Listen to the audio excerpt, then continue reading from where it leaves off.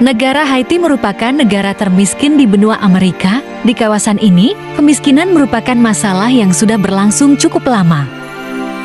Kemiskinan yang melanda wilayah ini sudah mencapai tingkat yang sangat ekstrim, sehingga mereka yang hidup di kawasan ini harus mencari cara untuk bertahan hidup.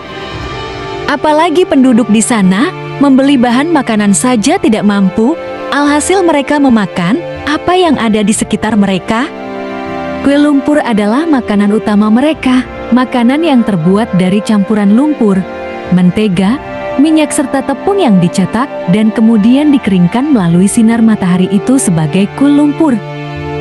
Untuk bisa bertahan hidup, dalam kehidupan sehari-harinya, anak-anak di sana harus memakan makanan yang sangat jauh dari kata layak.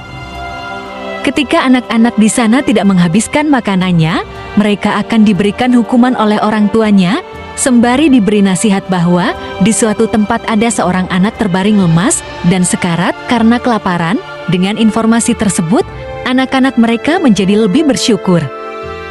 Kuala Lumpur dikenal pada tahun 2008 ketika krisis yang melanda kawasan perkotaan membuat mereka sulit untuk bertahan hidup.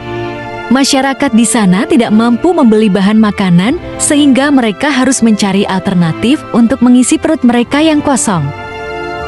Pada akhirnya, mereka menemukan alternatif lain sebagai pengganti bahan pokok makanan mereka yaitu kue lumpur.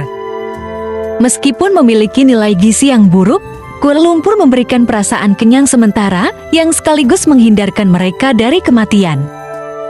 Padahal menurut para ahli memakan kue lumpur ini dapat memiliki efek buruk pada kesehatan selain risiko tertular cacing atau bakteri yang ditularkan melalui tanah.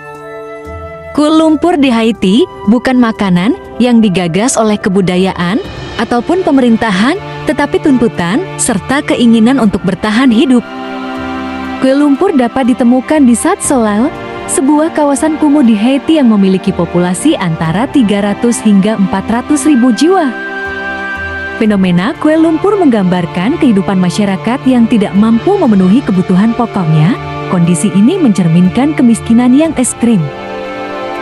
Kemiskinan yang berkelanjutan dan kurangnya perhatian dari segi pangan di negara ini menjadi sorotan dunia internasional untuk melakukan pembangunan ekonomi dan perbaikan struktural untuk membantu negara Haiti keluar dari situasi sulit ini.